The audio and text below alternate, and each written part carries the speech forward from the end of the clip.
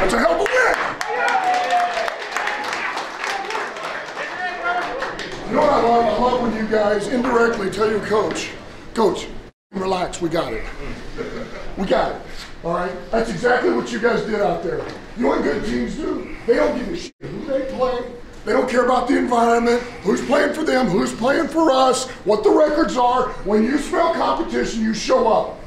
And you guys just proved it again today. You did what you're supposed to do. You did exactly what you're supposed to. That's what good teams do. Guys, that's four. You just keep your attitude just like it is right now. And we'll go wherever we want to go, I promise you. I've seen too much of it. I've seen way too much ball as a player and a coach. Trust me, we'll be all right. We'll be just fine.